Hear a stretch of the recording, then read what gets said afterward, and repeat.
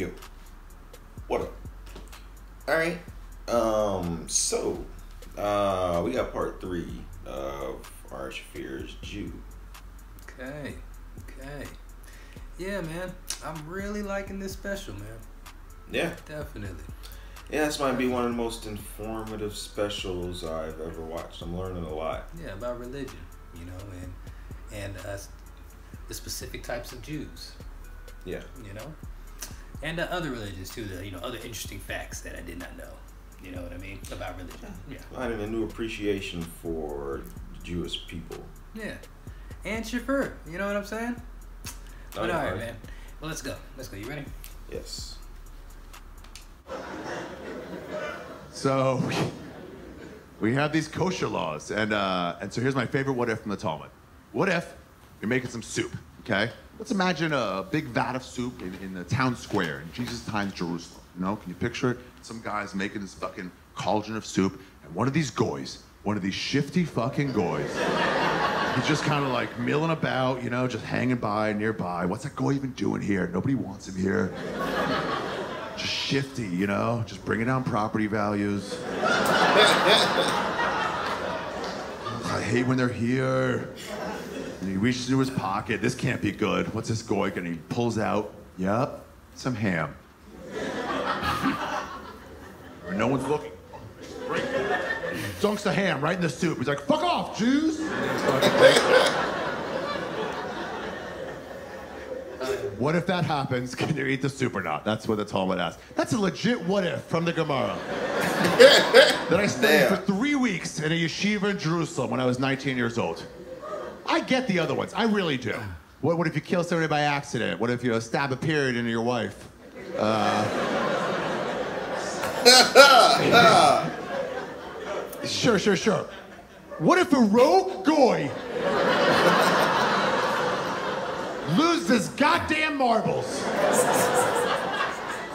Breaks through your Jew security and commits just the softest act of terrorism of all time. It's a hate crime, pure and simple, it's a hate crime. But no loss of life. But ooh, what a possible loss of soup. well, what if that happens? Look at happen totally. So if that happens, the Gemara asks, then uh, what do you do? What do you do with the soup? Can you eat it or can you not eat it? What do you, not the Orthodox Jews, everybody else. What do you guys think? No. Eat it, couple hell no's. What? Take out the ham. All right, you're thinking. yeah. Smart. Thinking. That's what the Gemara does, by the way. It just teaches you, like, think it out, logic this out. What can you do? You know, maybe run it through a sheet, maybe whatever. Like, you know, but all they do, ancient rabbis, just discussed it and uh, come up with an answer. And you're all wrong. You're all wrong. You were never going to get it. Uh, the answer is, for sure, you were never going to get this. The answer is, it depends on the ratio of ham to soup. I didn't know that. Yeah, and that number, and I don't know why, that number, actually, if anybody knows it, on the count of three, say it. One, two, three. 60th. Yeah, 160th. I'm not making it up. One sixtieth. Yeah, a lot of you Christians are like, wait, what's going on right now?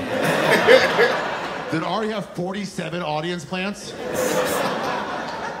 160. The law is called Bitul Bashishim, the waste of the 60th. And uh, if it's less than 160th, you know, if it's if it's 164th ham to soup, then the ancient rabbi's like, hey man, let's just soup a little bit of ham in it. That never hurt nobody. yum yum, eat it up. Damn. But if it's a little less water or a little more ham, it's 159th ham to soup, then they're like, dude, that's obviously ham soup.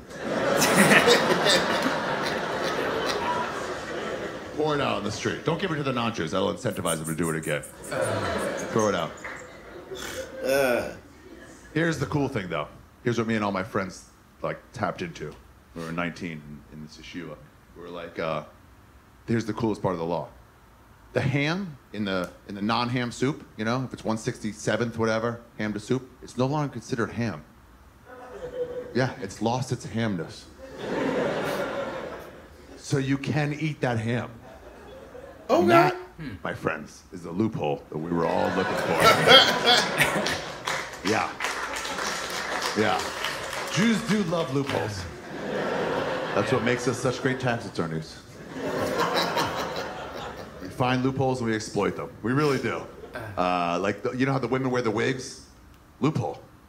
You ever see the women wear the wigs? The Orthodox women? It's because this, because, okay, you can't covet your neighbor's wife. And, and uh, they say one of the things you covet is their hair. Hair is an attractive quality in a woman. So you have to cover your hair if you're a married woman. So these Jewish Damn. women, who were just as smart as Jewish men, they went looking for loopholes.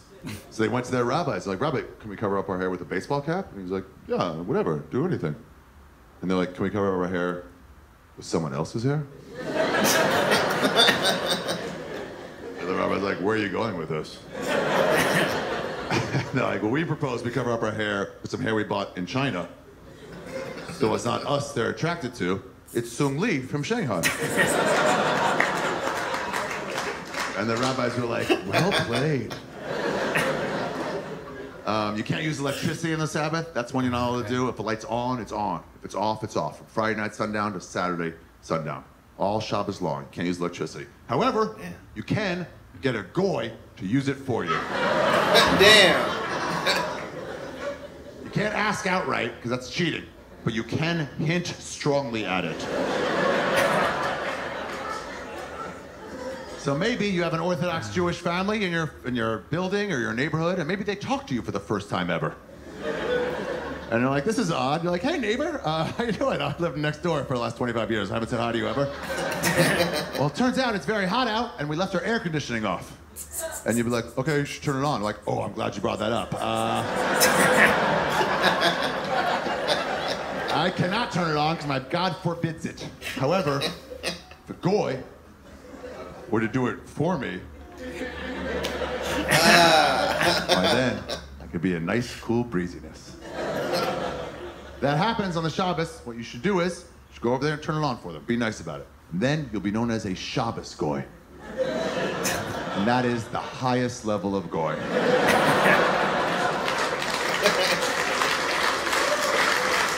Damn, so many rules. Yeah. In fact, actually, if you have next door neighbors who are Orthodox Jews, just go over there and be like, how's your light situation today? Friday night to Saturday. Like, can I help with anything? Anything bothering you? Hint, hint. They'll love you, dude. They'll give you tons of challah. so anyway, back to Bitul Bashishim. Back to the waste of the 60th. Me and all my friends were like, that's a loophole we've been looking for. What if one of these goys comes to my mom's kitchen? You know, maybe the Amazon delivery guy. And he's like, hi, Mr. Shaffir, I need you to sign right there. Right on the line, if you don't mind. Yeah, just sign. Just right there on the line, if you don't mind. Hey, what, uh, what are you cooking back there? Uh, oh, is it some soup, you fucking bitch? you know, makes a break for it, reaches into his pocket for his pocket ham. That honestly, we thought you guys had ham on you at all times. We didn't know any goys. We didn't want to know any goys. We just thought you guys were like, just in case some juice soup appears, all gonna be ready. Fucking dunks it in the ham, fuck off Jews, you know, and then takes off. Me and all my friends, same exact daydream. None of us were like, I'm gonna go fight that guy. Well, why? You'll lose. There's no reason. No, we all the same daydream. We're going for that measuring cup. and if it's less than 160th, we're eating ham soup tonight. yeah, what, what did you guys dream about when you were 19? Same shit or like different shit? No. no. Yeah, okay. So ham. By the way, okay, so you guys, I, I know I'm painting this picture of, of Orthodox Jews being like very insular and like different, but like we're not, we're not that different than you. It's like just like one step down. You know, we did normal shit. We listened to top 40 music. Uh, we could watch movies, rated R movies even. No nudity, but violence was fine as long as it was goys dying. It was cool. um, I played basketball. I was on a basketball team. My league was uh, three Jewish schools, uh, a deaf school, and a Sidwell Friends. Yeah, but you had to play with your yarmulke on. The girls had to play with skirts with sweatpants underneath. Damn. Yeah, but I played with a yarmulke on. And what I would do is I clip my hair, my clip on. Okay. yarmulke, Just one clip, so it would like move around a little. I'm six foot three. I was the tallest Jew in like nine years of my school. so I was a center. So there's no Jews aren't known for their vertical. So what the fuck am I gonna do? So I get the ball on the post, right, and then I go like this, and the yarmulke would like move, and it would put like defenders in a trance, and they would follow the yarmulke. Drop step to the left, the easy two. Yeah, you gotta use what you got. Gotta use what you got. Ah. Yeah, we're like you, just like one step off, you know? Like, okay, like Christians, you're not allowed to have premarital sex, but you do it. You're just not allowed. And Jews were not allowed to touch women before marriage. Uh, but we, you know, we still did. It was like bad kids. Touch. We'd meet girls in the woods behind school and we'd like hold hands. God But as we were damn. doing it, we're like, what a fucking slut. oh my god. Who would marry her now? It's you, but one step off, that's all. Let me talk about Yom Kippur. It's our biggest holiday. It's our most somber day in, in, in the Jewish calendar. It's a day of atonement, part of the Aseret Yemei Tshuva, the 10 days of repentance, um, from Rosh Hashanah to Yom Kippur. And you have to pray for forgiveness the whole day on Yom Kippur. Uh, you have to fast from sundown to the next day sundown. It's super somber. God's judging you for your sins. He's deciding on your fate. Um, this is one of my earliest memories. This is me as a probably a six six year old, maybe first grade. Guys, it's gonna get weird right here. Just so you know. Uh, first grade, my dad, before Yom Kippur started, he was like, "Hey, come with me to the front lawn. We're gonna say this prayer called Kaparot." Uh, and he brought with him to say this prayer a chicken, a live chicken. And I was like, "I'm gonna name it Big Nate." yeah, my dad said, "Oh, we will not be naming this chicken." Yeah, and I should have said, Dad, what's this foreshadowing mean? Here's how Kaparot works. Uh, you say this prayer over and over again, and then symbolically, as you say it, your sins are supposed to kind of like wash off you a little bit. But they don't evaporate, the sins. They got to go somewhere. So, The chicken. this chicken, Damn. yeah, it's a sin chicken. and it eats sins. I know, I get it. It's very strange. We're not the only culture that does shit like that. There's other cultures with similar stuff. There's a tribe in the Amazon, uh, Central South America. Every three years, villagers come together, they put their sins on a goat, and they fucking kick the goat off a cliff. Damn. Yeah, uh, yeah. Catholics, you tell your sins to a rapist behind a counter. and then, you know, he does whatever he wants with it. So let, us not judge what's weirder or less weird. It's all pretty fucking out there. And Jews, we got a sin chicken. So six years old, first grade, we're saying Kaparot, we're saying this prayer over and over again. All my sins, you know, my gossip, fucking eat it, sin chicken. Uh, I punched my sister, I stole a pencil. Eat it, sin chicken, you love it, slurp it up. My dad's over there doing his Copper Kaparot, and this chicken's just fucking covering this bitch in sins, you know? It's like a bukkake of regret all over this fucking slut's face. God, come on, just Bible talk, you guys. That's all we're doing here. Just regular Bible talk. We've done this before. And uh, and then we were done, and my dad was like, "All right, symbolically, we're wiped clean of sin." I was like, "Oh, so cool. Can we go back inside?" He goes, "Yeah, we can go back inside, but before we do, I mean, this chicken's got to pay for his crimes." what, Big Nate? What did Big Nate do? He goes, "No, there's no one here by that name. First of all, I already told you that." Second of all, he knows what he did. He punched his sister. He stole that pencil. He gossiped. All my stuff. Look, man, Jews are excellent lawyers. And this motherfucker's gonna hang for his crime. yeah, so he reached down in front of me. Six years old. I was screaming for him not to. I was like, no, no, please. And he reached down, he grabbed this chicken by the neck, and, uh, calm down. Uh, he didn't snap the neck. He picks it up by the neck and just starts like, ah! Oh, it's way worse than whatever you guys pictured five seconds ago. far, far more barbaric. Whatever you were thinking is like the way, I did not see it coming at all. Damn. You know who's more surprised? Big Nate. you should have heard like, what the fuck? That's how I die? you asked that chicken eight minutes earlier, how are you gonna die? No way, it guesses correctly. Big Nate, how are you gonna die? Like, old age, I think, probably old age. These Jews treat me great, you know. He's never gonna. I'm gonna die by swinging over a Hebrew's head in, some Northern African voodoo ritual. And by the way, it was not only my family. It wasn't like we were the weird ones. If you drive down the streets the afternoon before Yom Kippur, uh, down Teaneck, New Jersey, or Skokie, Illinois, or Kemp Mill, Maryland, or wherever you guys keep your Johnny Cash Jews, yeah, you'll see dozens of them lassoing poultry in front of their horrified young sons. Then he God. he threw it down right near my feet. Not dead, just hurt bad. like not gonna recover bad. You know, taking a wing, trying to get away. Like,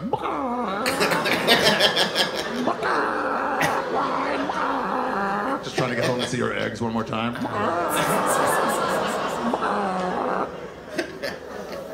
And then you can't eat the chicken afterwards. No, don't have the chickens. Because it's got, it's got all our sins on it, so you can't eat it.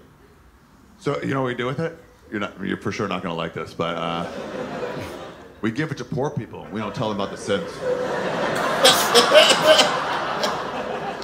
Were like, here, here's some chicken. Eat it. Eat it. No, it's chicken. Go ahead. Eat it. Eat the chicken. Eat the chicken. Eat the chicken. It's good. Eat it. Eat the chicken. It's good. Eat the chicken. Yeah, so here's the weird part. That's just the weird part. Yeah, that's not the weird part at all. That's not the weird part. Yeah, that is weird. That's not the weird part. Here's the weird. I took it for granted. Here's the weird part. I went home again for Rosh Hashanah. It's part of the 10 days of repentance. Rosh Hashanah to Yom Kippur. It's called the Aseret Yemei Tshuva. And I went home again probably seven, eight years ago. And at this point now, I'm way out of the religion. Okay. When I was like, I guess 22, 23, I had a crisis of faith. And I realized, I realized I didn't believe in God. That's like a pretty important part of the religion. Uh, it was actually it was when I was in that yeshiva, that seminary in Jerusalem. I um, okay, so I left a light on above my bed, a reading light on above my bed in the dormitories, and um, it was just in my eye on Friday night, on Shabbos night, and I couldn't fucking sleep. It was right in my eye. I was getting so fucking frustrated that eventually I was like, "Fuck this! I'll just I'll, I'll turn it off." You know, and right when I went to turn it off, I was like, some people walked by my window, and I'm like, "Fuck! I'll get in trouble." There's no goys to help me, you know, not Jerusalem. So I was like, fuck.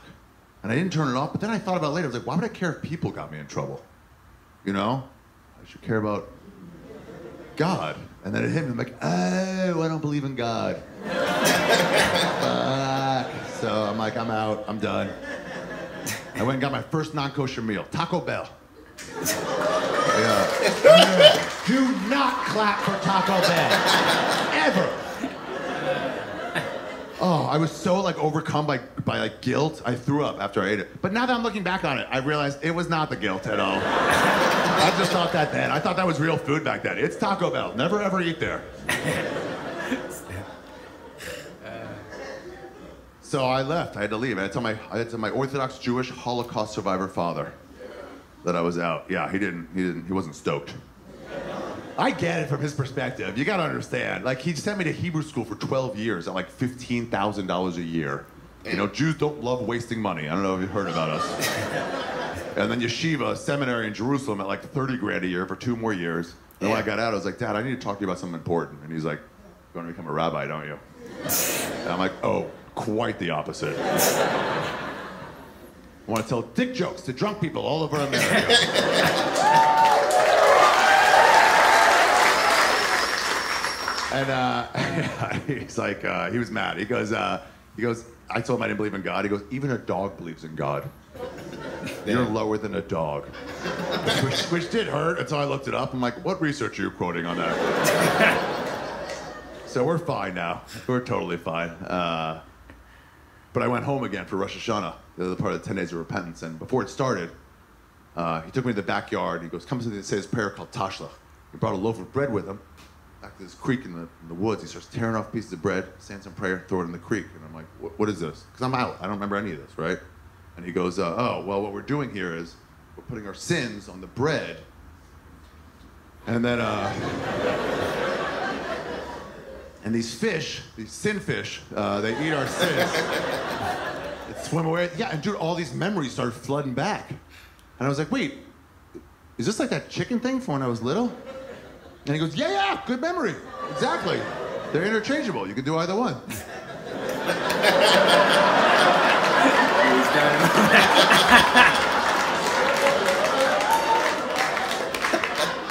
You had the option? When I was six years old, you could have fed goldfish with me? And instead, you, you killed me, Lee! He was like, in hindsight, it was not the best idea. Yeah, but getting out of the religion, man, I thought I'd, be, I thought I'd miss a sense of community and stuff, but no, I got my first blowjob, and I'm like, oh hell yes. I loved it. I experienced new things every Saturday morning. I'm fucking flicking on and off lights. I'm like, ah, you know. In college, like, do you have OCD? I'm like, making up for lost time.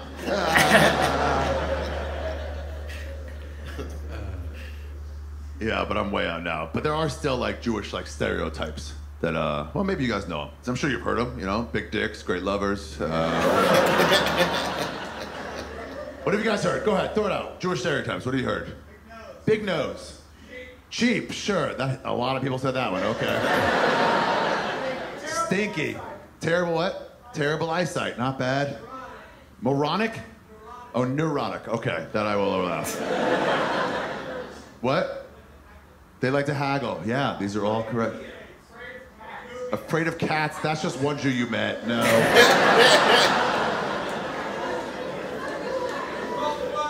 They control the weather. We do not control the weather. we are working on it, but we're not there yet. We are making plans. Brooklyn, bad at basketball. How about smart, funny, any of the good ones at all? Creative. You guys all went negative for no reason at all. These are all true. Everything you've said is true. Cheap, big noses. That's that. Here's how that affects my life. Because by the way, we are cheap, but that's only compared to you. You gotta understand, I didn't grow up with you. So you know, maybe I'm cheap compared to you guys, but I'm not cheap compared to Chaim and Shlomo.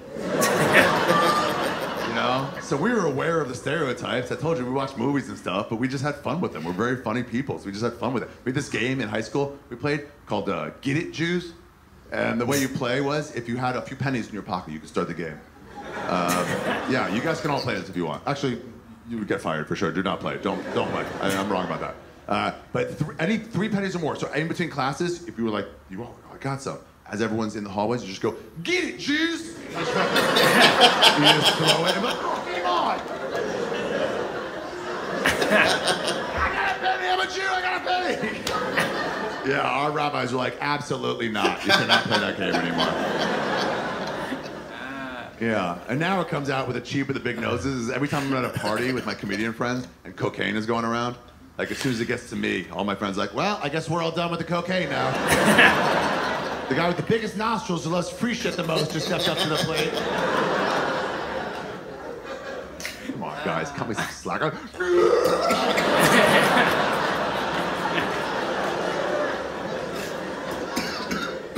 Here's a modern Jewish stereotype. Jewish women, terrible at blowjobs. It's a real thing. Prove me wrong.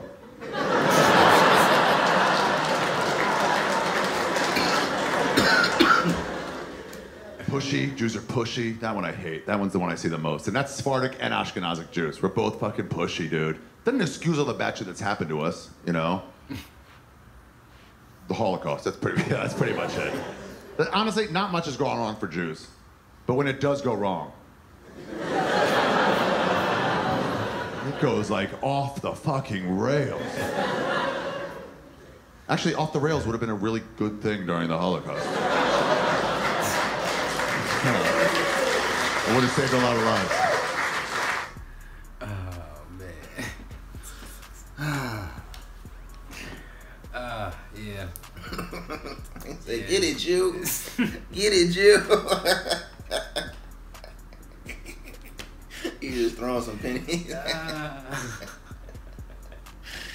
Ah, I can't be a real game. Yeah, man. I can see them playing that. Jesus, man.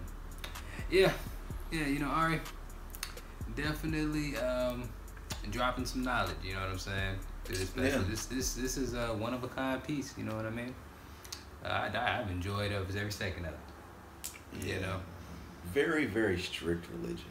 No, Yeah. he said women can't show their hair. Mm-hmm. They have to wear wigs over their hair because you know Or just have it covered. thou shalt not cover covet thy neighbor's wife. they said the hair you can covet thy neighbor's hair, so you got to Right. cover. What about the eyes? You can cover. What she got pretty eyes? You got to cover the eyes too.